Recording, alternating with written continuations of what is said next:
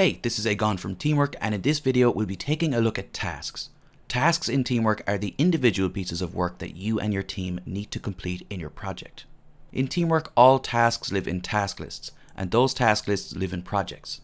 In any view where you can see tasks, you can also add them. In this video, we'll be looking specifically at table view and list view. From the list view, select add task, Tasks include several information points. There's the task name, assignee, start dates, and due dates.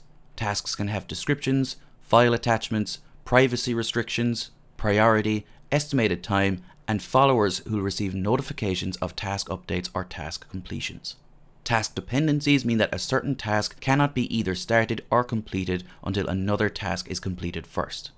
Tasks can be set to repeat at certain intervals, such as every day, every week, etc. Tasks can have reminders set to notify stakeholders beforehand when a task is due. Tags can be added to your tasks to help with visibility and organization. Tasks can also be assigned to particular columns in the board view, and if you have any custom fields created, they can be added to the task also. The only mandatory field for adding a task is to give the task a name. From the table view, just add the task to your task list by typing in the task name, and once the task is added, you can click on each individual column to customize the data or select the options dropdown and edit the entire task in one go. And of course, once the task is done, just mark it as complete. And that's it, that's how simple yet powerful getting to grips with tasks in teamwork can be.